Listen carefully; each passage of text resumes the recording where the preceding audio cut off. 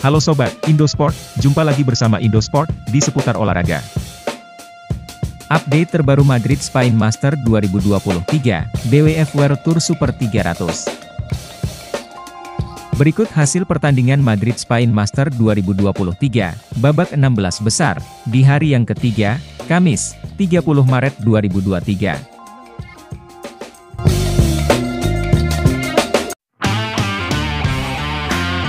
Hasil pertandingan Spain Master 2023, babak 16 besar, di hari yang ketiga, hari ini, Kamis, 30 Maret 2023.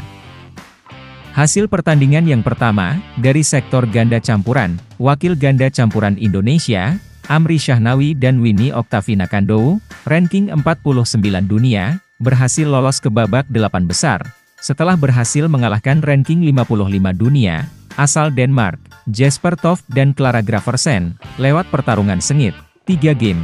Poin di game pertama, 21-19, poin game kedua, 13-21, game ketiga, 16-21, skor akhir, 1-2.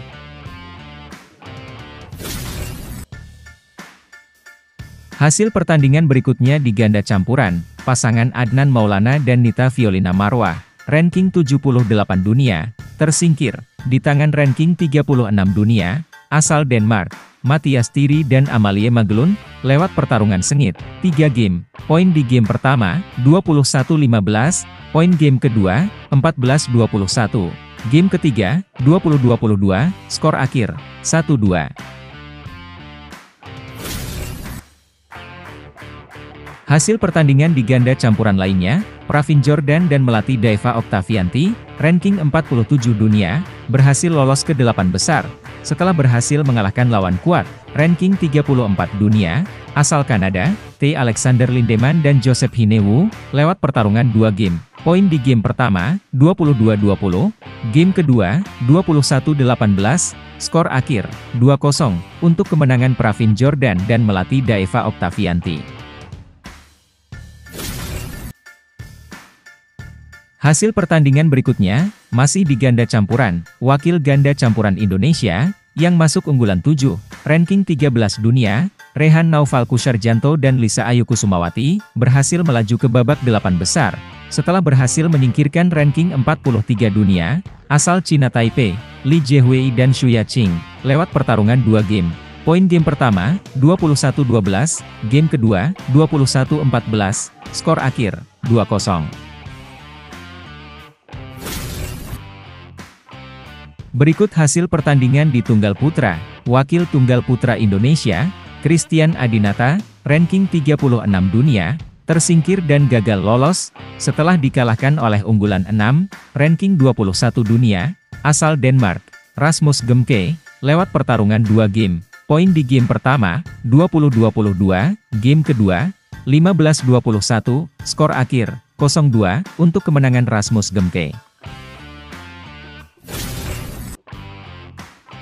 Hasil pertandingan berikutnya dari sektor Tunggal Putri, Tunggal Putri Indonesia, Putri Kusumawardani, ranking 38 dunia, tersingkir, dan gagal lolos ke delapan besar. Setelah dikalahkan oleh unggulan nomor 2, ranking 9 dunia, asal India, Usarlave Sindu, lewat pertarungan dua game. Poin di game pertama, 14-21. Game kedua, 16-21, skor akhir, 0-2, untuk kemenangan Pusarlave Sindu. Hasil pertandingan berikutnya, dari sektor ganda putri, wakil ganda putri Indonesia, Febriana Dwi Puji Kusuma dan Amalia Cahaya Pratiwi, ranking 19 dunia, gagal lolos ke delapan besar.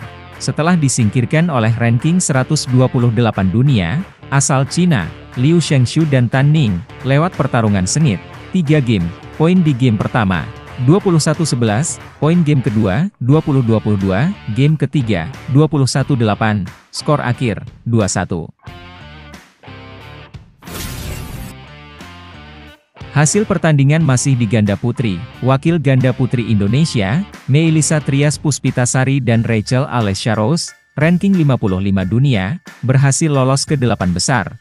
Setelah berhasil mengalahkan ranking 40 dunia, asal Cina Taipei, Chang Qinghui dan Yang Qingtun, lewat pertarungan dua game. Poin di game pertama, 15-21. Game kedua, 16-21, skor akhir, 0-2, untuk kemenangan Meilisa Trias Puspitasari dan Rachel Alessia Rose.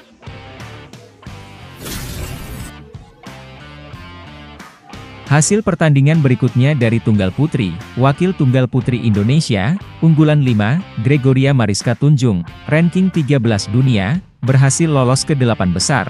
Setelah berhasil mengalahkan ranking 19 dunia, asal Korea Selatan, Kim Ga-eun, lewat pertarungan sengit, 3 game, poin di game pertama, 12-21. Poin game kedua, 21-14, game ketiga, 23-21, skor akhir, 2-1.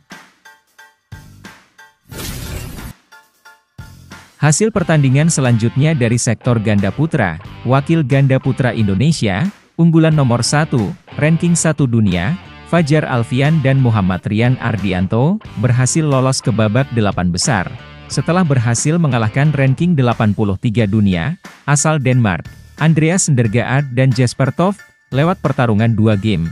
Poin di game pertama, 21-13, game kedua, 22-20, skor akhir, 2-0 untuk kemenangan Fajar Alfian dan Muhammad Rian Ardianto.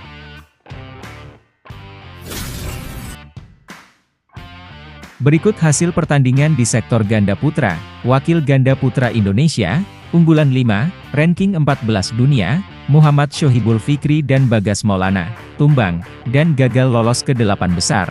Setelah dikalahkan oleh ranking 60 dunia, asal Cina Taipei, Fang Chihli dan Fang Jianli, lewat pertarungan sengit. 3 game, poin di game pertama, 14-21, poin game kedua, 21-10, game ketiga, 20-22, skor akhir, 1-2.